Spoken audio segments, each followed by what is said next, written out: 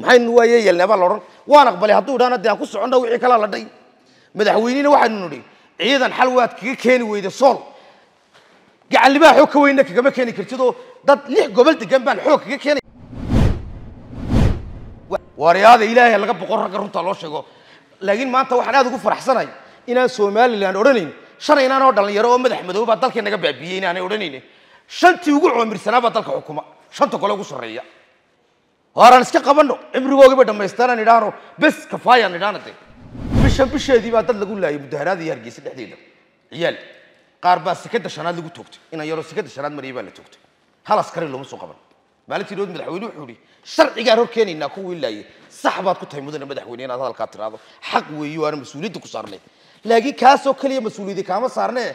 Waxaa kaloo mas'uuliyadda kaa saaran tahay inaan ka yaraa lixiyo toban jirka haye sekada shanaad lagu dilay askarigii toogtay isagana in sharciga loo keenaa shaqo dhexdhexaadna muusana inaga dhegaysan maayo madaxweynaha jamhuuriyaddii cirana inaga dhegaysan maayo waa xal baan soo wadaa guddoomiye waan soo wadaa ikaadi waan soo wadaa ikaadi miduu isku jabtay bay noqoto halkaasay maanta mareen toddoba bilood bay maraysaa haaway xooggii adayseen haaway xeeladii adayseen haaway raganimadii adiina abiibiya ku lahaydeen waa qaran dumis markaan dadka xabadda ka daaya lahayn war saraakiisha ka daaya markaan lahayn xildhibaan maxamed abiib oo ka mid a xildhibaanada golaha wakiilada ee somalilan. Islamarkaasina ka mid ahaa xildhibaanadii maanta ka hordoodayey golahaasi ayaa waxa uu xildhibaanku si gaara uga hadlay xaaladda ka taagan buurta gacan libaax xildhibaan maxamed abiib waxa uu sheegay inaanay suuragal ahayn in xukuumadda somalilan ay dhallinyarada hubaysan ee ku jirta buurtaasi in awood ciidan ay kaga soo dejiso halkaasi.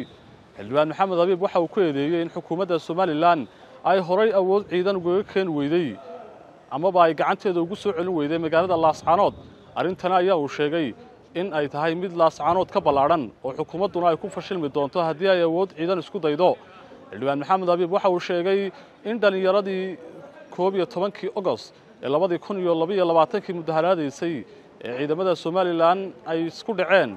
Iyo sidoo kale ciidamada hadda lagu laayay buurta gacan libaax labaduba ay u baahan yihiin in sharciga la hor keeno ciddii falalkaasi ka dambaysay madaxweyne biixi waxa uu sheegay inaan looga baahnayn in cidda ciidamada laysay oo keliya uu sharciga hor keeno. Balse looga baahan yahay in uu yana sharciga hor keeno ciddii dhallinyaradaasi laysay. Waa sida uu hadalka u dhige soomaaliduna waxay tidhaahdaa cudurka kaa gala fardaha haddii laga gubo dameer dawada lama gaadhayo. Haddaan nidhaahno nin waliba ha yidhaahdo hebelna garle hebelna garle caashina garle waa waxa halkaayna dhigay weeyaan. Waa waxa laba iyo soddon sannadood kabacdi inagu soo celiyey jabhadihii iyo dhiig daata inagu soo celiyey dadkani waxay hiigsanayeen imise mashruuc baa burca laga fuliyey imisaa boorama laga fuliyey imisaa ceerigaabo laga fuliyey imisaa laascaanood laga fuliyey baa la isku haystay. Maantana waxaan isku haysanaa imisaa dhintay? Qaar baa la qariyey meena qaar baa la hoos loo dhigay shan baa dhaawacan imisaa ree hebela iyaan isku haysanaa. Nusqaan weeye. Dadku ay ka isweydiiyaan maxaa halkana dhigay? Ayaa loo baahan yahay. Markaa mudane guddoomiye waynu taataabanaynaa waxay halkan waynu ku gebagabaynaynaa waxay dawadeennu tahay. Because ninka sahankii ehelkiisa beenuma sheego. Ummaddan sahan baynuu nahay golo qaran baynuu nahay. Innagaa siyaasadooda iyo qorshahoogaba halkanaa lagu karkariyaa laga soo saaraa. Markaa waynu tilmaamaynaa waynu toosinaynaa. Wixii sharci lagu toosinayna sharci baynu ku toosinaynaa. Dastuurka jamhuuriyadda somalilan wuxuu ku dhisan yahay ku dhaqanka shareecadda islaamka go'aan qaadasho ku timaada tala wadaag isku dheelitirnaanta awoodaha dowladnimo oo saddexda waxayd ku timaada baahinta iyo hosdaadejinta maamulka xukuumadda damaanad qaadka lahaanshaha gaar ahaaneed iyo xaqdhowridda suuqa xorta ah qiimo weynida qofka oo la imanaysa sugidda xuquuqda aasaasiga iyo xorriyaadka qofka. Waa qodobada aasaaska wa dastuurkeenna iyo wadajirkeenna weeye. Dhibaatooyinka dhacay ee laascaanood ka socda ee maanta gaclibaax ka taagan shan qodob buu dastuurkeennu kaga hortegayay shantaa qodob haddii la waayana dal kasta oo dunida ka mid a dagaalkaas oo ka bilaabmaya. Shanta qodob maxay yihiin?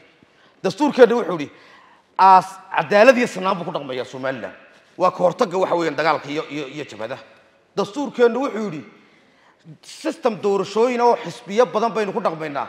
Haddii la hor istaago waa bilowga jabhadaha iyo burburka. Xorriyaadka asaasigaa iminka aan ka hadlayay eele qofku inuu hadlo inuu wax qoro haddii la hor istaago waxa maanta taagan oo kalaa imanaya.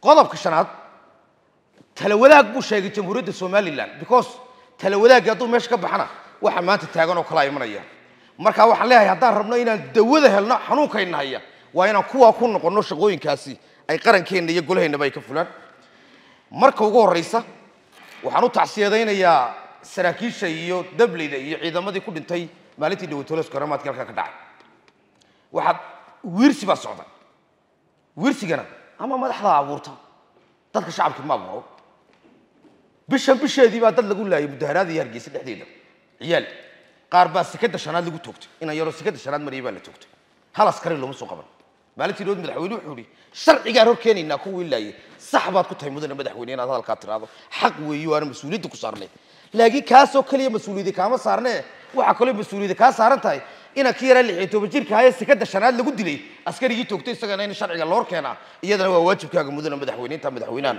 intaa madaxweynahan u qadimaya ii kaadi gudoomiye intaa madaxweynaha ayaan u qadimayaa ayaan u qadimayaa waxa weeye go- goonyaha bari waan ka gubanaynaa oo dhiiggii sool waa gondahana waa nagaga qiiqaya. Afartan kilomitr isku weere u jirtaa waddada burco waddada berbera iyo waddada hargeysa timaada annagu waa yaabanaha halkaa maxayna gaadhsiiyey hees baa waxaa ku jirtay gabaagaboodo oo gurboodkiisuna uu xumaado waxaa gabe abeed maxay u iman weyda colaadaha maanta taagan xilligii maxaa la yidhahdaa daayir riyaale kaahin maxay u iman waayeen xilligii madaxweyne axmed maxamed maxamuud siilaayo wada tashigii baa meesha ka baxay wada tashigii ayaa meesha ka baxay ismuquunin baa ka soo burqanaysa aqalkeennii madaxtooyada ee inuu ummadda midayahay dee ismana muquunin karno haddaad qara haddaad qaran wareenno badan aad abuurto oo fureenno badan baa dhalanaya oo buuraha soo gelaya oo fureennadana waxa waxay sii dhalayaan qarandumis qarandumis bay dhalaysaa ilaahay waxaan ka baryayaa ilaahay inuu tuyo caqliga u saaxiibkaa uu maad aragtay inoo soo tubo aqalkan halkay naga soo horjeedi innaga golahaynu golo nabadeed maaha golo nabadgelye maana golo siyaasiyiin bane maxamed ayb halkan kama hadla isagoo dhexdhexaada anugu kama hadlo shaqo dhexdhexaadna muusana inaga dhegaysan maayo madaxweynaha jamhuuriyaddii cirana inaga dhegaysan maayo yan waa xal baan soo wadaa guddoomiye waan soo wadaa ikaadi waan soo wadaa ikaadi waan soo wadaa xalka waan soo wadaa. Waxa weeyaan waxa laynaga dhegaysanayaa marka guddoomiyihii nabadaynta golaha guurtooda uu leeyahay beel iyo beelihii kalaasaya. Halkeen isku haynaa beesha annagu. Waaryaada ilaahay laga boqon ragga runta loo sheego. Laakiin maanta waxaan aad ugu faraxsanahay inaan somalilan odhanayn. Shan inaan oo dhalinyaro oo madax madow baa dalkii naga baabiiyey inaanay odhanaynin shantii ugu coomirsanaa baa dalka xukuma. Shanta gole ugu sarreeya. Horaan iska qabanno? Cimrigoogiiba dhammaystaanaan idhaahno. Bes kafaayaan idhaahno de kafaayaan idhaahno shantiooday ugu waaweynaa waa waxaan u nasteexaynayaa dad ballaadhan anuu magacyada reeraha ma sheego laakiin constituensiga loo abtirinaya laleeyahay buurtaasay fuuleen waa u nasteexaynayaa maanta walaalayaal shan gobol oo dalka ka mida majority baad ka tihin ama majority ku-xigeen baad ka tihin waxaan dareemayaa khasaaraha dagaalkii sokeeye ninety fourkii idinka soo gaadhay soddon sannadood halgan bay qaadatay in ficta mar kale loo baxo ficta in loo baxo dhaqaalihii bay idinka saamaysay siyaasad bay saamaysay maanta halgankii labaatan sano dambe la waday ninety four dabadeed. Fictuu saaran qofka ugu sarreeya maanta hadday doorasho dhacdo xisbiga wadanina uma baqayo xisbi kaloo dadkaasi wataana uma baqayaanu haddii laakiin dagaal sokeeye la galo oo shilinkii aynu ku dhisayna doorashadee aynu fiktaa ku fuulayna aynu xabad siino oo aynu qori siino walaalayaal khasaarad dambe oo soddon sannadoodoo dambe idinna halgan idin geliya dadka kalena hagardaamo geliya. Uunbaa ka imanaye waar waa ucantiino lacagtii aad xisbiyada ku dhisaysayna labada xisbiye waaweyn aad ku wadeen waxaan idinka codsanaya haddaad qurba joogtaan iyo haddaad maraykan joogtaan iyo haddaad ingiriis joogtaan inaydaan b m iyo qori midna aydaan ma- maaragtay aydaan siinin. Ee aad noo urursaan oo doorashada lala sugo raggan doorashaa lagagaadii oo layskaga celinaya haddii laakiin maantana dagaal kale la galo oo kuwaasi waxay doonayaan aan hor cararna le beel iyo beelo kala haysaya waa wixii la shubaya ninety fourki dalka dhan ee ruwaandha la yidhahdaa hadal xumaado sidaas ugu rogmaday lama qabno annagu guddoomiyaha golaha guurtida ku kaloo halkan ka yidhina lama qabno idinkana waxaan idinku nasteexaynayaa waar way dhowdahay maalinta doorashadii waxay nooga hadhay fikta intaasaa nooga hadhay warqadda warqadda meesha ka soo baxda xisbiga wadani looga biqi maayo inuu urur xisbi noqdo haddii doorasho madaxtooye la galana anigu garan maayo cid uga awleysan maanta inuu guulaysto garan maayo waryaan kuwa shayaaduunul istigii insigiidin khaldi tale waxaan siinayaa musharaxa madaxweyne cabdiraxmaan maxamed abdillaahi madaxweyne adiga eh, musharax madax- madaxweyne adiga hal waajib baa ku saaran. Halka waajib baa ku saaran waa inaad haddii aad ogoshahay arrinkii komishinka doorashooyinka ay soo saareen oo xisbigu ogolaya inuu xisbigu aqbalo si waxa kale dhiman looga howlgalo inuu aqbalo yidhahdo waan aqbalay. Hadduu diidana yidhahdo anaa diido dee dadkaanay buurta joogi. Qof fatherless ma jiro. Ama laba qodon bay noqon inay constituencyga oo dhaqankii leeyihiin. Tabashaan qabnaa saami qaybsi oo dadkaasi annagay noo joogaanoo annaga hadday noo joogaan marka annaga nalala hadla annagoo suldaan hebela ganacsade hebela ee kuraasida caynkaa caynkaa lana siiyo waanu soo degaynaa waa ra'yi wanaagsan wey kaas ama xisbigaanu ku dhabar jabnay baa la hor istaagay inuu waa inuu doorashadii loo qabto oo ciddiibaa isku cunaduutayoo doorashadii baa la qaban waaya taasina halkay ku dhammaan. Inuu xisbigu dee uu soo gardhigto la yidhahdo la isqanciyo haddii laakiin labadaa midna kuma abtirsanayaan la yidhaahdo. Labadaa midna kuma abtirsanayaan hadday noqoto dadka buurtaa joogi. Dee waxay noqonaysaa in dhinac looga soo wada noqonaysaa. In dhinac looga soo wada jeestay noqonaysaa. Taana waxaan jeclahay reer somalilandow hadalka waa garab istaagtaan hadalka yaan la garab istaagin. Waxaan intaa uga beedhayaa aqalkan midnimada iyo maad aragtay dee in dalka laga xukumay loogu talagalay.